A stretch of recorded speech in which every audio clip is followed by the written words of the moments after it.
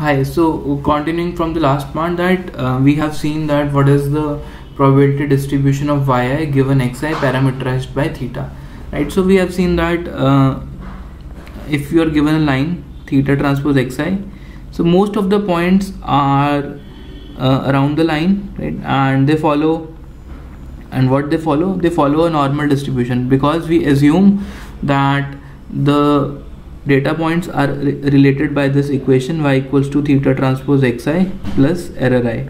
And this error term we have seen is a Gaussian. So we we have written that the probability distribution of y given xi p of yi given xi parameterized by theta belongs to a normal distribution with mean this right? Because this is a Gaussian with zero mean and if you add something to the Gaussian right so this is let's say this is mean 0 and if you add some quantity to every every point the mean will shift to this point. So the new mean will be now theta transpose xi. And the same thing is here right? So you can see the mean point is theta transpose xi. This is again the mean. So this this point is nothing but the theta transpose xi right? So we can see that most of the points are scattered around the mean. So this is something like this something like this right? So most of the points are scattered around the mean and due to the Gaussian noise right? So Gaussian noise captures the behavior uh, due to unmodeled effects or some random noise and we assume that these these uh, this noise is IID identical and independently distributed. So the it belongs to a normal distribution with mean theta transpose xi and the mean is uh, and the vari variation is this right? So variance is this right? Okay? So now we want to uh, view this this as a function of theta right? So we write this as a function of theta. So we ignore y and x terms here and we say that we want to write the likelihood right? So likelihood for all the points right? So likelihood is generally written for all the points right? So for all the points in in our training examples capital x and for all input examples let's say capital y right? Or y vector right? All right and now this this can be written as this can be written as product of probabilities for all the points. I goes from 1 to m p of yi given xi into theta right? So this is a general formula for the likelihood right? So if you want to uh, if you want to derive the maximum likelihood estimation for any problem what you will do you will multiply the probability estimates or the probability that you are getting for each training example right? So maximum likelihood estimation may you have to multiply all the probabilities for all training examples under the assumption right? Why multiplication? Because we are assuming IID right? So we are assuming the noise which we have added to our examples is uh, independent is independently distributed right? So if the noise is independent then the all the probabilities can be multiplied right? So all these probabilities can be multiplied right? Now we know what is this thing. This is nothing but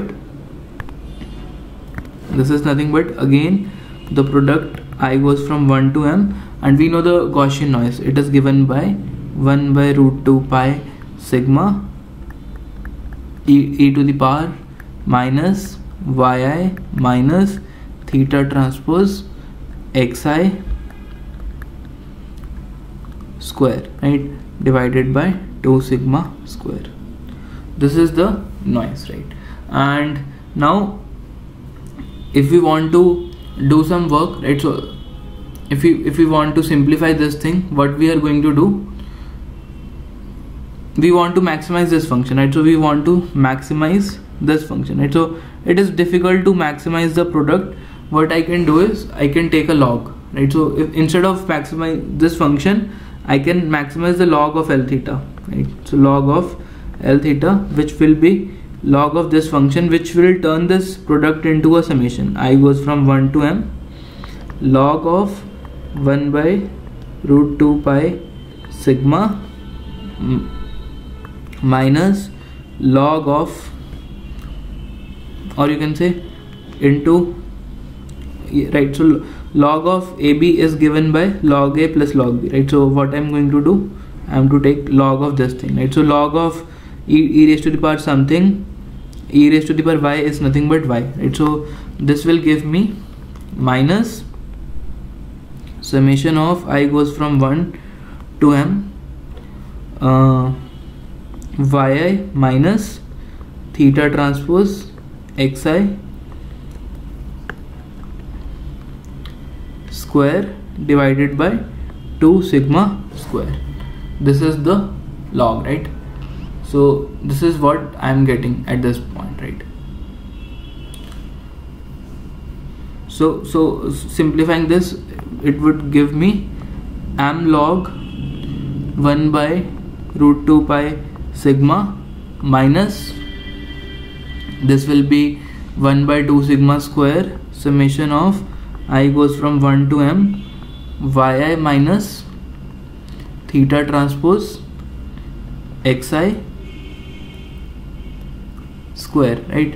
So this is the function and i'm writing this function as ll theta because it is a log likelihood of right?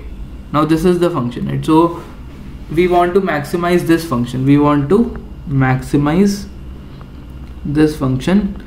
And if we want to maximize this function this this value is a constant because sigma is a constant right? This 1 by sigma square is also a constant right? The only change we can make is we have to minimize this. We have to minimize this because this here we have a negative sign. If the, if this value is minimum then the log likelihood will have a maximum value right? So we can extract this quantity out so this quantity and to this. So it would be half of yi minus theta transpose xi